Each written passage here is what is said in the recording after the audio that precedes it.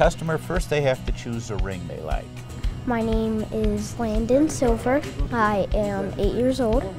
We're going to find out what shape and what price and what kind of a diamond or colored stone they would really like to put into the center.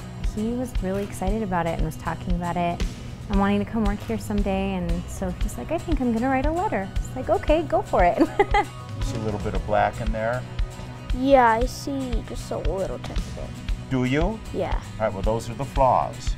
I thought it was me that a kid that age would have the, the, the tenacity and the audacity. It's just adorable to express an interest, a curiosity like that.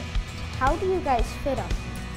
It's a little tool, and what it is is it's got a lot of little rings, and each ring is a little bit bigger than the one before it.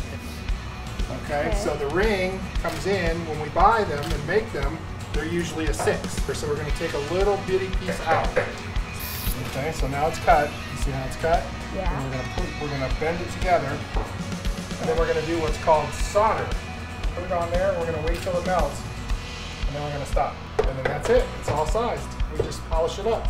And then you would give it to her and tell her to have a nice day. Have a nice day. Thank you. I'm so excited.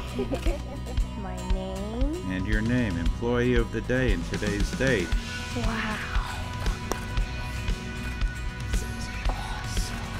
You know what that is? That is a tie bar, not for a bow tie, but for a long tie.